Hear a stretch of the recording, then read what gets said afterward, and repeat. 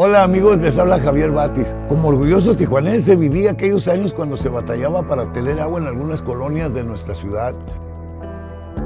Esto ha mejorado mucho, pero como ha crecido tanto en nuestro estado y con tantas discusiones entre políticos, con esto de las apps, me preocupa que quienes vivamos en Tijuana pronto nos quedemos sin agua.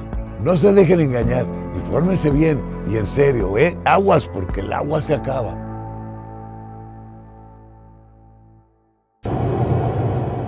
Un autobús de pasajeros con número 743 de la línea ACN, con trayecto de Nayarit a Tijuana, se impactó contra un tráiler que transportaba rollos de alambre por causas aún desconocidas.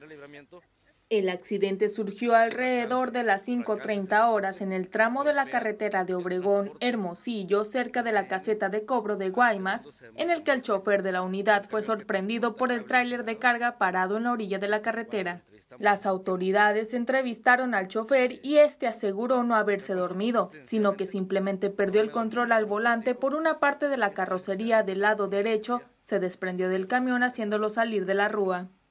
Tras el aparatoso accidente, una persona quedó tendida sin vida en el lugar y las otras tres murieron cuando eran trasladadas al hospital mientras recibían atención médica. Mientras que al menos 25 personas se encuentran con lesiones leves y graves siendo trasladados a diferentes hospitales de la ciudad y la capital del estado.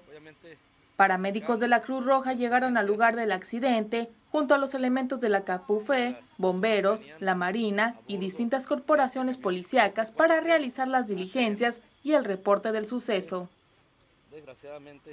Informó para Radio Patrulla TV, Paola Quintero.